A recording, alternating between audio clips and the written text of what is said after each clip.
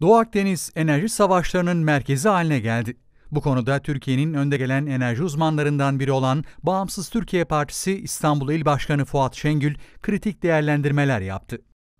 Türkiye'nin Libya ile yaptığı münasır ekonomik bölge anlaşmasına değinen Fuat Şengül, bizim yıllar önce yaptığımız uyarılar dikkate alınmalıydı dedi. Türkiye bir an önce Akdeniz'de e, münhasır ekonomik alanlarını ilan etmelidir diye defalarca buradan hükümeti, yetkilileri uyarmıştık.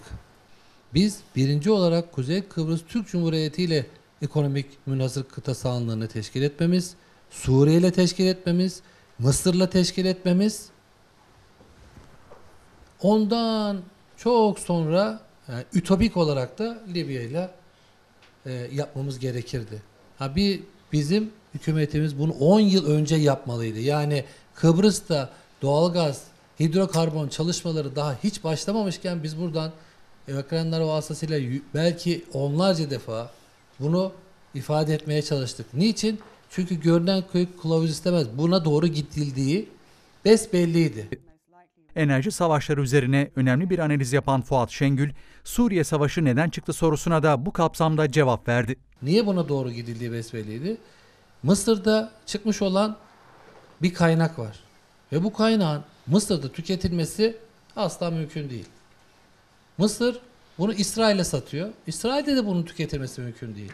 Bunun muhakkak ve muhakkak Avrupa Birliği ülkelerine satılmasıyla bu kaynaklar parasal edecekti. Ve buradan çıkacak tek bir tane çözüm vardı.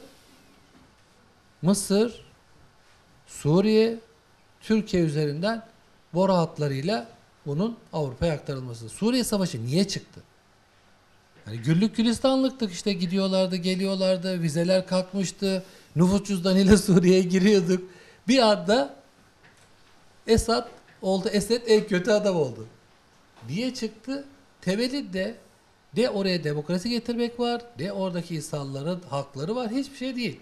Trump'ın bugün açık açık söylediği ben petrolümü gelir alırım, gerisi de beni hiç ilgilendirmez diyor adam. Açıkça herkese dünyanın gözü önünde bunu açıkça ifade eden bir başkan var şu an karşımızda. E tabii ki bu boru hatları, bu boru hatlarının yapılıyor olması ve bunların inşaatları başlamıştı. Yapılıyor olması Akdeniz'de hidrokarbon meselesinin yüzde yüz gündeme geleceği bir şeydi. Rusya'nın Türk akım projesine de dikkat çeken Şengül, Moskova bunu neden yapıyor sorusuna da şu şekilde karşılık verdi. Türkiye'ye yapılan mavi akım boru hattı, Türk akımı boru hattını niye yapıyor bu adamlar? Bizi çok sevdikleri için mi? Yo. Veya bu gazın hepsini biz tüketebilir miyiz? O da imkansız. Bizim için de çok fazla bu miktar. Sadece ve sadece buradaki İsrail'den gelecek olan, bu Mısır'dan gelecek olan, Kıbrıs'tan gelecek olan boru hattını Avrupa almasın. Hazır ben size getirdim kardeşim buyurun diyebilmek için bu kadar yatırımı yaptı. Yoksa niye yapsın bunu? Bizim için yapacak hali yok. Türkiye'nin bu manzarada takındığı tavra da BTP İstanbul İl Başkanı Şengül, Trakya'daki doğal gaz kaynaklarının yabancılara verilmesini hatırlattı. Biz ne yaptık?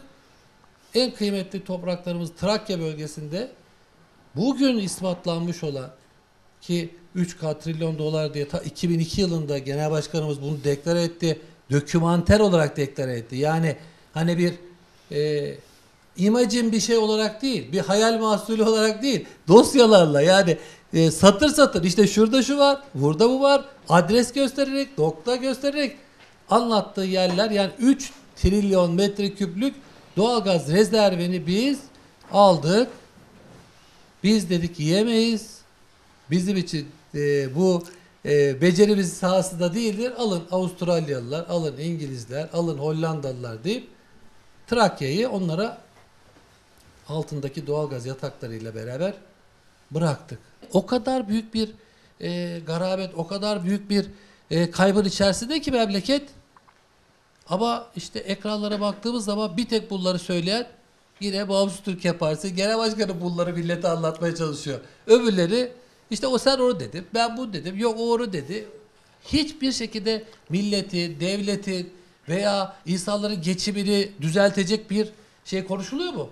Ne millet meclisinde böyle bir şey konuşuluyor ne de bakın siyasi lider diye e, gezilen insanların ağzından böyle bir şey düşünmüyor. Bir- Bir çözüm veya efendim bir kaynaklar yok oluyor kardeşim diyen var mı? Yok. Ne ana muhalefet partisi diyor, ne yavru muhalefet partisi diyor, ne iktidar partisi diyor. O zaman ne olacak? Tabii ki işsizlik olacak, tabii ki açsızlık olacak, tabii ki insanlar intihar edecekler. Birçok şey belki çok daha büyük olayların gebe olduğu bir yıldayız maalesef.